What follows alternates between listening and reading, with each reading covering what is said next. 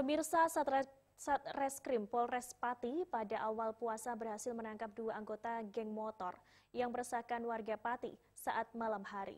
Geng motor ini tidak segan melukai korban yang menggunakan senjata tajam celurit dan juga melakukan kekerasan serta pengerusakan mobil.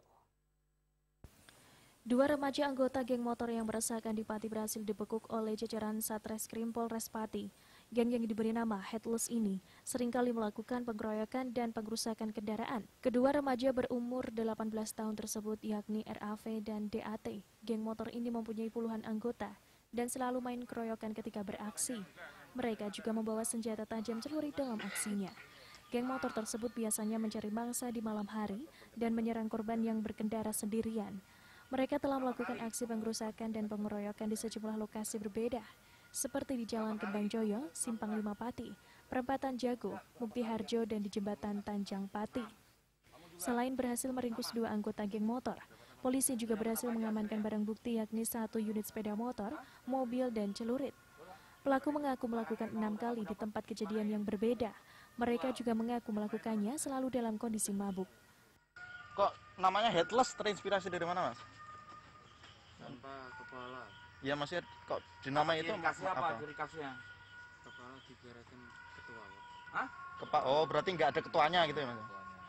Hmm. Itu merekrut anggota baru nggak biasanya? Atau itu memang cuma teman-teman sepermainan aja? Mas? cuma teman kumpul Tujuannya geng-gengan itu apa mas? Nah, Biar apa?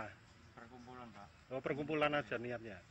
ya Terus nyari duit dengan cara seperti itu. Kapolres Pati AKBP Christian Tobing mengatakan, anggota geng motor ini rata-rata masih remaja dan di bawah umur. Oleh karena itu, pihaknya bertindak cepat karena sangat meresahkan dan mengganggu masyarakat.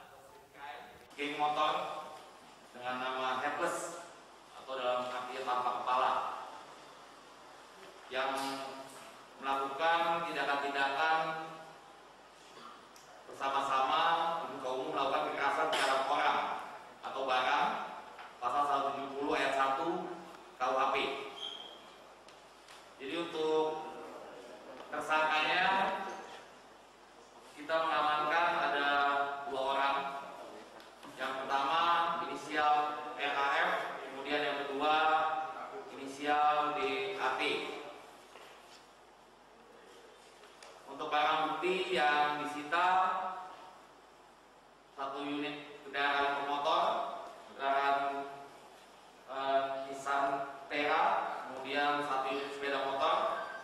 Jadi kendaraan roda empat satu unit, satu unit sepeda motor, kemudian ada satu unit, satu celurit, Kini kedua pelaku harus mendekam di sel penjara Polres Pati. Kedua pelaku dijerat pasal 170 ayat 1 KUHP melakukan tindak pidana secara bersama-sama di muka umum, melakukan kekerasan terhadap orang atau barang, pasal 170 ayat 1 KUHP dengan ancaman hukuman penjara selama lima tahun. Sarman Wibowo, Semarang TV.